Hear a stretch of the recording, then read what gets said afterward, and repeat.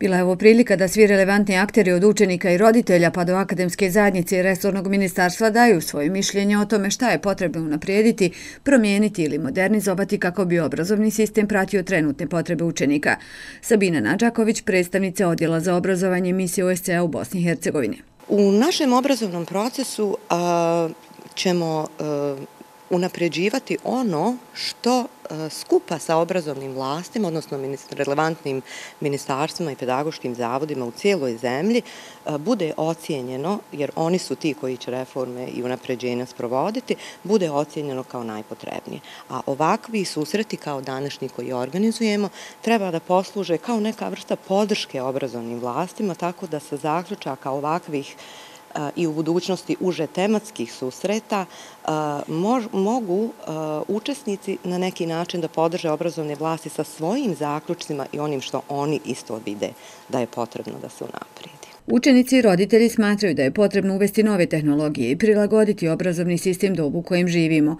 Potvrdili su to Gabriela Tadić, predstavnica vijeća učenika u Građevinsko-geodetskoj školi i Senija Mujkanović-Muftić, predsjednica Udruženja građana Savjet roditelja Tuzlanskog kantone. Mnogo je bitno dakle da e, mi kao učenici pokažemo svoje stavove i mišljenje kako bismo promijenili i unaprijedili obrazovanje u našim školskim sistemima.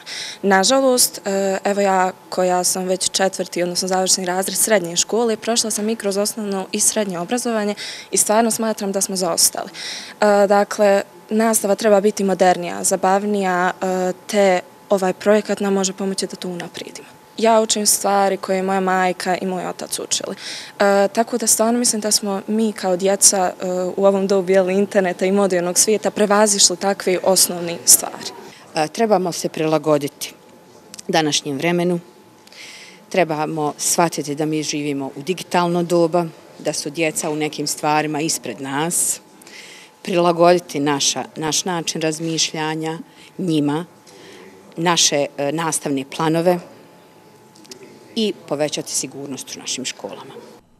Na promjenama će zajedno raditi u narednom periodu kako bi se kvalitetno izvršila obrazovna reforma. Već su u toku pripreme za novi nastavni plan i program koji bi trebao stupiti na snagu naredne školske godine. Zumra Šahović, stručni savjetnik za obrazovanje Pedagoškog zavoda Tuzlanskog kantona. Te promjene e, moraju e, biti uvedene na način e, da se prije svega obuče i nastavnici u implementaciji te isti nastavni planova i programa koje su bazirane na ishodima.